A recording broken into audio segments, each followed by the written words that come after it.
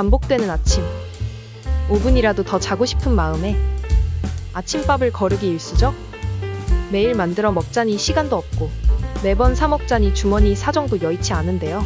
아침 식사를 고민 중인 학생들을 위해 학교에서 진행 중인 복지 사업을 알려드릴까 합니다.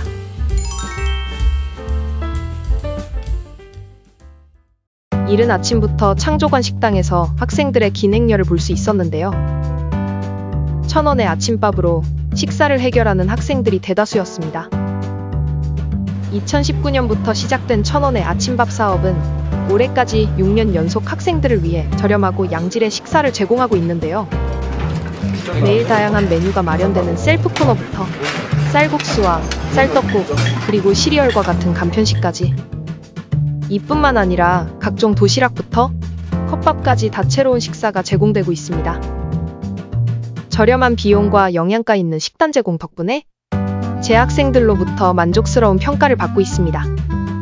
이 모든 메뉴가 단돈 천 원이라니 정말 믿기지 않는데요. 천 원의 아침밥 덕분에 평소에 잘 챙겨 먹지 않았던 아침을 잘 챙겨 먹을 수 있어서 좋아요.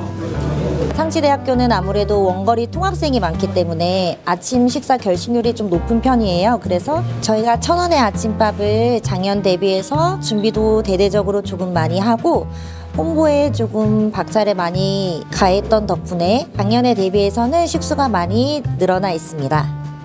2021년 총 16,100식을 시작으로 매년 3,000씩씩 이용자가 꾸준히 증가하고 있는 추세입니다. 학생들의 식사 부담을 해소하고 학업에 몰두할 수 있도록 환경을 구축하기 위해 노력하는 상지대학교였습니다.